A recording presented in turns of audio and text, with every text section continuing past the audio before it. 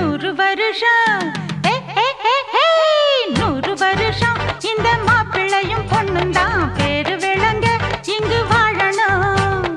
பொண்ணு பொண்ணு பக்கத்துல பொண்ணுக்குள்ள நிக்கையில கண்ணு படும். மொத்தத்துல கட்டழக. வருஷம். இந்த மாப்பிள்ளையும் பொண்ணும் தான். பேரு